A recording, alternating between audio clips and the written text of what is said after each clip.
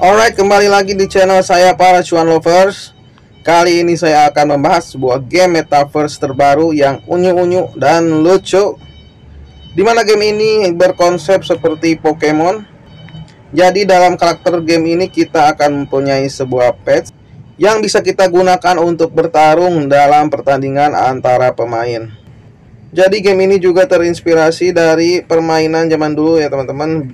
Jika kalian angkatan 90-an, kalian akan mengenal Tamagotchi yaitu sebuah alat atau perangkat yang didesain khusus untuk bermain dan di dalam Tamagotchi itu akan ada sebuah pets atau game yang bertemakan merawat monster dan juga bisa diduelkan. Oke, nama gamenya apa? Kita langsung saja pergi ke websitenya. Oke, ini dia nama gamenya yaitu adalah Tamadroid. Sebuah game play to earn di mana kalian bisa mendapatkan uang dari bermain game. Oke, sekarang kita bahas untuk Tamadroid. Tamadroid adalah NFT dan game penangkaran serta penjinakan monster digital yang dibangun dalam genre play to earn. Game ini menyediakan karakter aneh dan imut dalam tampilan visual yang unik dan berbeda. Pemain dapat mengumpulkan dan membiarkan lebih dari 100 Tamadroid unik jadi di sini teman-teman nama untuk petsnya itu biasa disebut Taman Android. Player versus player adalah salah satu fitur kunci utama dari game yang pemain perlu mempersiapkan dan melatih Taman Android mereka untuk pertempuran di arena untuk dapat memenangkan hadiah menarik. Pembangunan komunitas dan pertukaran informasi adalah salah satu faktor penting untuk menumbuhkan Tamadroid Anda bertemu orang-orang nyata dan mendiskusikan tip dan trik Anda dalam memelihara dan membiarkan tamadroid yang unik. Jadi di sini kita juga bisa bertemu dengan orang-orang yang main juga. Kita bisa bertarung dengan mereka dan bisa mengobrol ataupun kita bisa bermain bareng. Mengeksplorasi pertarungan dan menghasilkan. Kostumisasi avatar berkreasi dan sesuaikan rambut, struktur wajah dan gaya karakter Anda. Jadi kalian juga bisa membuat avatar dan men mengkostumisasinya. Oke, ini di bagian taman droid. Siap untuk mengumpulkan, membiarkan dan menumbuhkan berbagai makhluk aneh dan imut. Kami mempersembahkan kepada Anda taman droid. Mereka adalah makhluk hidup dengan sifat dan kepribadian berbeda yang dapat Anda beri makan dan rawat. Di sini Anda dapat fuse atau breed untuk mendapatkan Tamadroid berkualitas tinggi yang dapat Anda latih, kembangkan dan persiapkan untuk pertempuran. Berhati-hatilah tanpa perawatan yang tepat, makhluk ini bisa mati tetapi menyediakan kebutuhan yang diperlukan. Makhluk ini akan membawa Anda ke puncak kedamaian. Ya. Jadi di sini kalian harus merawat Tamadroid kalian yaitu memberi makan dan lain-lain. Kalian juga bisa untuk mengembangbiakan Tamadroid kalian Di mana jika tamadroid kalian sudah memiliki keturunan, maka keturunan tamadroid kalian bisa gunakan untuk pertempuran ataupun kalian bisa menjualnya di marketplace. Jadi kalian harus merawatnya dengan baik. Kalau tidak, jadi mereka juga bisa mati.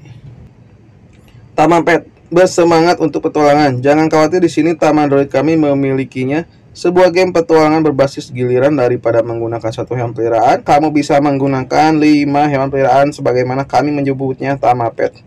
Lewati berbagai tahapan dengan Tamapet ini dan dapatkan hadiah menarik saat Anda maju. Jadi kalian bisa maksimal memiliki Tamapet atau Tamadroidnya yaitu 5. Oke, kita coba lihat di bagian white papernya. Jadi dengan membaca kertas putih atau white papernya, kalian bisa mendapatkan info lebih banyak. Oke, kita klik kertas putih. Tamadroid adalah game NFT yang dikembangkan oleh Droid Coin Project dan Overcast Games, di mana teman digital yang disebut Tamadroid dilatih untuk bertarung di arena yang menyatu dengan Tamadroid lain untuk menghasilkan tipe baru. Dengan memainkan game ini, Anda dapat memperoleh VDRC atau Virtual Droid Coin yang dapat dikonversi menjadi uang sungguhan.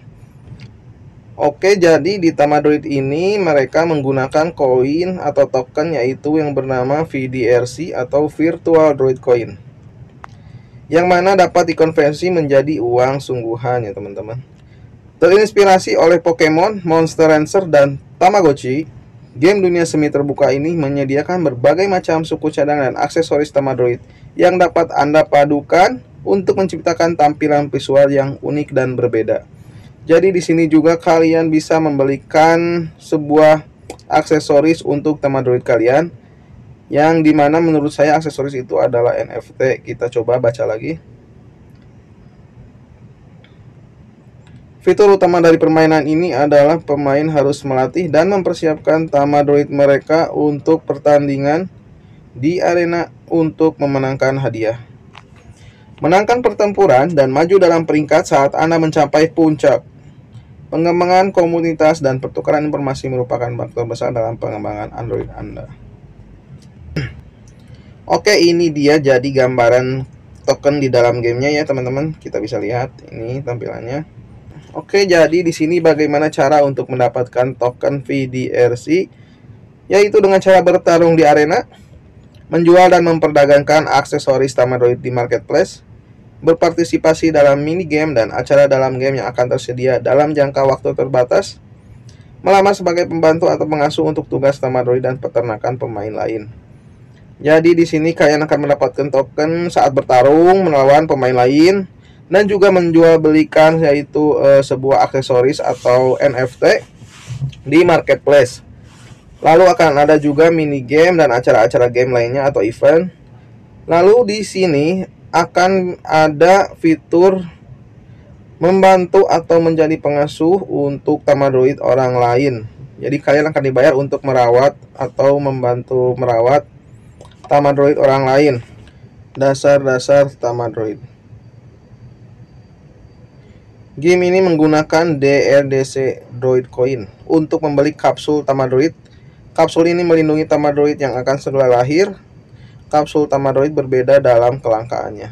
Jadi di game Tamadroid ini akan ada koin lain yaitu koin DRDC. Koin DRDC ini berguna untuk melindungi kapsul Tamadroid kalian.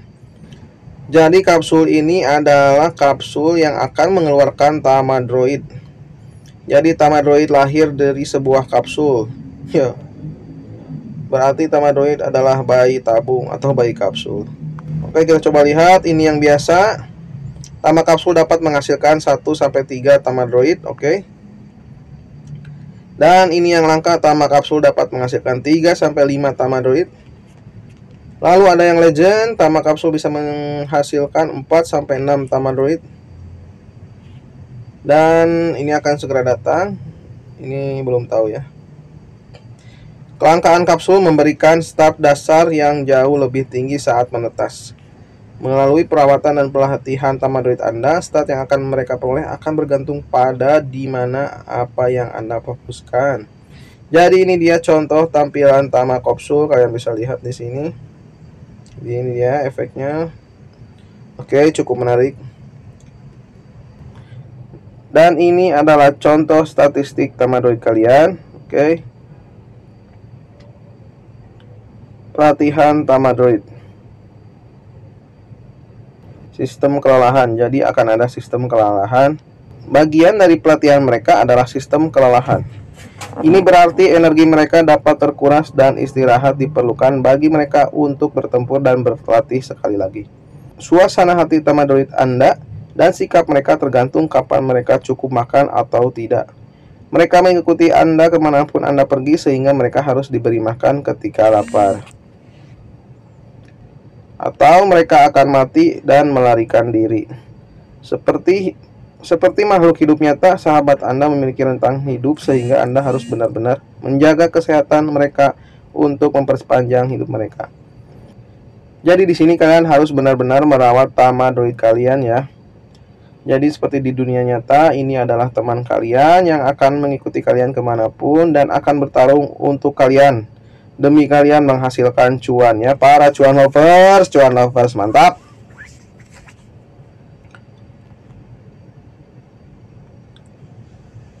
Suku cadang dan aksesoris Tamadroid Mengakses dan menambahkan bagian ke teman Anda tidak hanya untuk estetika, tetapi untuk meningkatkan statistik awal mereka.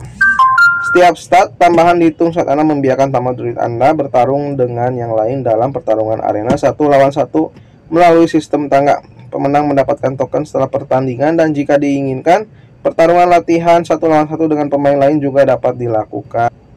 Oke, jadi di sini aksesoris tidak hanya untuk sebagai penghias saja. Jadi aksesoris menambah statistik pertarungan kalian.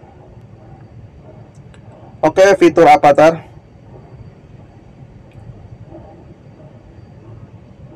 Oke, seperti yang sudah kalian lihat di bagian trailer, ini adalah kostumisasi karakter. Kalian bisa mengubah karakter kalian atau oke di sini juga akan ada emoji untuk ekspresi.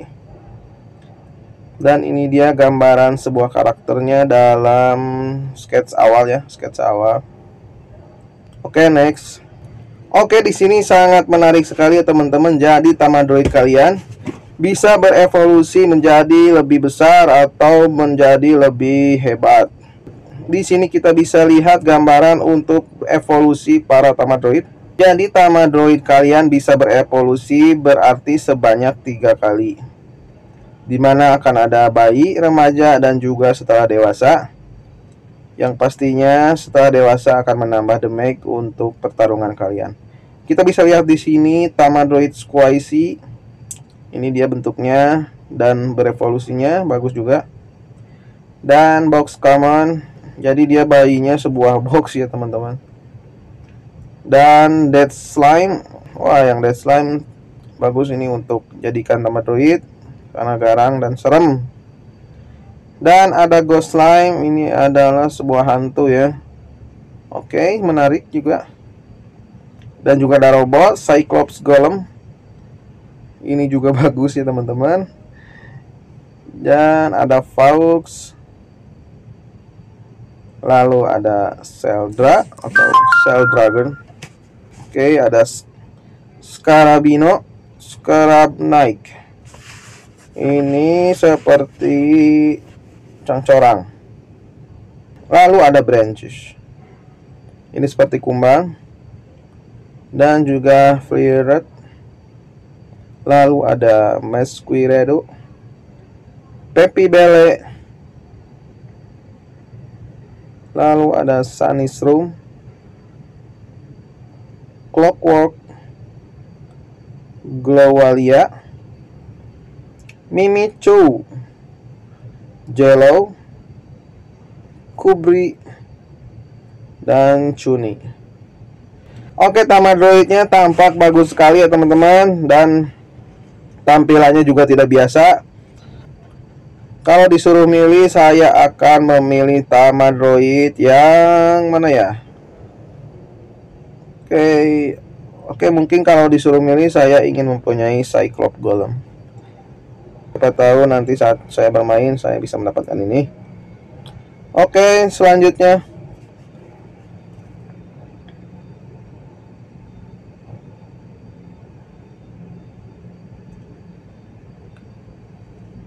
Oke teman-teman, jadi di Tamadroid ini kalian juga bisa memiliki sebuah rumah.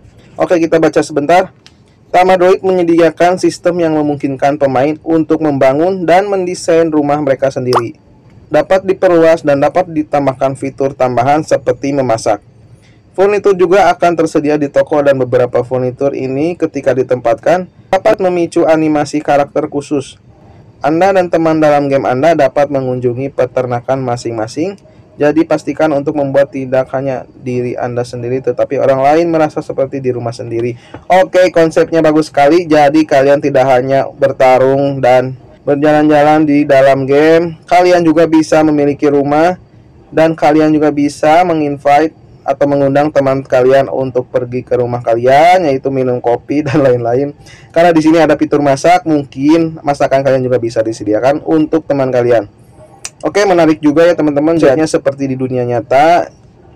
Jadi makanya ini adalah game metaverse merawat monster yang cukup baik ya teman-teman karena gameplaynya yang sangat Oke, menarik. sekarang kita ke roadmapnya. Oke, jadi roadmap adalah pengembangan-pengembangan yang akan mereka atau developer lakukan. Di sini kita bisa lihat Juni sampai Agustus adalah internal development. Di antaranya adalah karakter konsep dan development membuat karakter. Dan juga ada Alpha Stake yaitu September sampai Desember 2021. Tamadroid Tommy. Di sini kalian bisa lihat keterangannya. Oke jadi di Februari Maret 2022 kelas beta dan di tahun 2022 Juni sampai Juli akan ada open beta kembali. Dan September 2022 soft launch. Dan game ini akan launching di November dan Desember 2022 kita nantikan saja ya teman-teman. Game ini sangat menarik. Mungkin saya juga akan ikut presale presale ya uh, tamadroidnya kita nantikan saja untuk infonya. Kalian bisa follow media sosial tamadroid karena akan ada presale presale untuk pembelian tamadroidnya Oke jadi itu dia review Tamadroid sebuah game pay to earn yang bertemakan merawat monster atau seperti Tamagotchi ya teman-teman. Jadi kita tunggu saja game ini di tahun 2022.